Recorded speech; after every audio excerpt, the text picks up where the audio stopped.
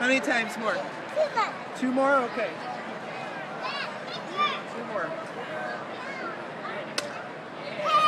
Run, run!